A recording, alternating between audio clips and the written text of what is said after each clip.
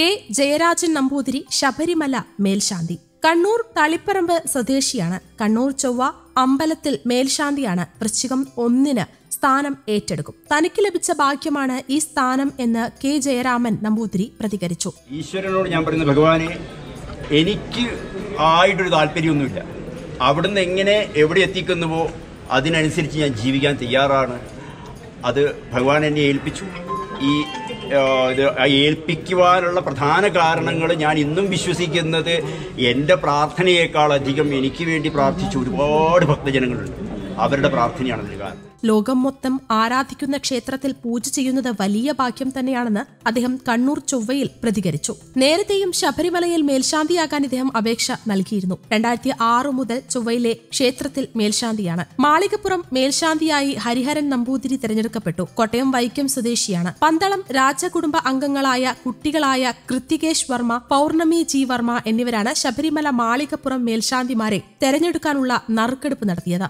കൃത്തികേശ് വർമ്മ ശബരിമലയിലേക്കും പൗർണമി ജി വർമ്മ മാളികപ്പുറത്തേക്കുമുള്ള മേൽശാന്തിമാരുടെ നറുക്കെടുപ്പ് നടത്തി. ചൊവ്വാഴ്ച രാവിലെ എട്ട് മണിയോടുകൂടിയായിരുന്നു നറുക്കെടുപ്പ്.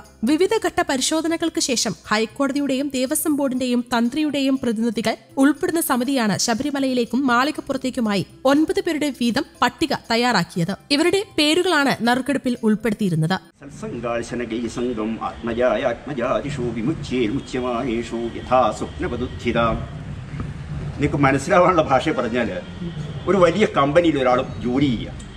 ആ ജോലി ഒരു ചെയർപേഴ്സണായിട്ടോ എന്തെങ്കിലും അതിന്റെ ഏറ്റവും വലിയ പോസ്റ്റിലിരിക്കുക. അപ്പോൾ ആ കമ്പനി അയാൾക്ക് വീട് കൊടുക്കും അയാൾക്ക് കാർ കൊടുക്കും സകലതും കൊടുക്കും. ആ പൊസിഷനിൽ ഇരിക്കുന്ന വർഷങ്ങളിൽ മുഴുവനും അത് അയാളുടെയാണ് അയാൾക്ക് ഇഷ്ടമുള്ളതുപോലെ ഉപയോഗിക്കാം. അതിന് റിസൈൻ ചെയ്താലോ? അത് മുഴുവനും ഉപേക്ഷിക്കണം. എന്ന് പറഞ്ഞാൽ അമിതമായ അറ്റാച്ച്മെന്റ് വെച്ചാൽ എന്ത് ചെയ്യും? ഉപേക്ഷിക്കുമ്പോൾ വേദനിക്കും. ഏത് കാര്യവും അങ്ങനെ ചെയ്യാൻ പാടും.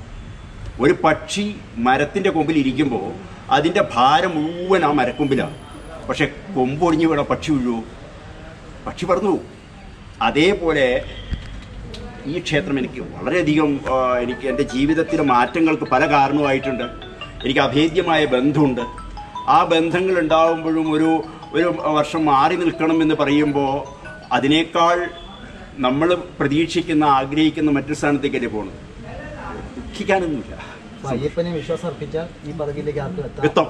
എത്താം. എന്നുള്ളതിന്റെ എന്നുള്ളതിന്റെ ഒരു തെളിവ് ഞാൻ ഇന്ന് അതായത് രണ്ട് ദിവസം മുമ്പ് ശബരിമല കൊടിമരം നിർമ്മിച്ചിട്ടുള്ള അദ്ദേഹത്തിന്റെ മകൻ അനു അനന്ത് എന്ന് പറഞ്ഞിട്ട് ഒരു അപ്പോൾ അദ്ദേഹമായിട്ട് ഇങ്ങനെ ബാംഗ്ലൂർ പോകേണ്ട ഒരു വിഷയമാണ് അപ്പോൾ അവിടുന്ന് അദ്ദേഹമായിട്ട് സംസാരിച്ചു. അപ്പോൾ അദ്ദേഹം ഒരു പറഞ്ഞൊരു അനുഭവം.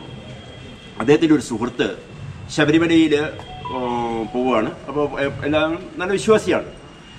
അപ്പോൾ എന്തോ ഉത്സവത്തിന് അവിടെ വന്ന് തൊഴണമെന്ന് അവിടുത്തെ മേശാരി ആരോ പറഞ്ഞു. അദ്ദേഹം ഉത്സവത്തിന് ഏഴ് ദിവസം തൊഴുതു. ഉത്സവം കഴിഞ്ഞിട്ട് തിരിച്ചു വരുമ്പോൾ രാത്രി രണ്ട് മണിയായി. അപ്പോൾ ശബരിമലയിൽ നിന്ന് ഇറങ്ങുമ്പോൾ മറ്റുള്ളവർ പറഞ്ഞു "അല്ല, പോണ്ട. അല്ല ഞാൻ പോയിക്കോളാം. എനിക്ക് എത്തേണ്ട ആവശ്യമുണ്ട്. എന്നൊക്കെ പറഞ്ഞു. അപ്പോൾ മണിമണ്ഡപത്തിലെ ഒരു നിവേദ്യം ആ നിവേദ്യം കൂടെ അദ്ദേഹത്തിന് കൊടുത്തിരുന്നു. അദ്ദേഹം ആ നിവേദ്യം കയ്യിൽ പിടിച്ചിട്ടാണ് പോണത്. ഏകദേശം ശരംകുത്തിയോ അവിടെ എത്തുമ്പോഴേ ഇതൊരു പേടി തുടങ്ങി.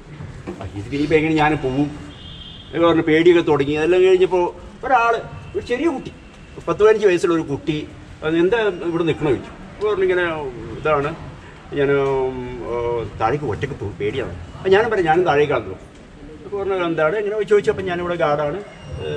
നോക്കുന്ന ആളാണ്. വിഷയമൊന്നുമില്ല നമുക്ക് പോകാമെന്നൊക്കെ പറഞ്ഞ് താഴെ എത്തി പമ്പയിലെത്തി. ഇനി പൊക്കോളെ പേടിയൊന്നുമില്ല ചോദിച്ചു. ഇല്ലയെന്ന് പറഞ്ഞു. അന്ന് ഈ പ്രസാദം കുറച്ചെടുത്തോളാൻ പറഞ്ഞു.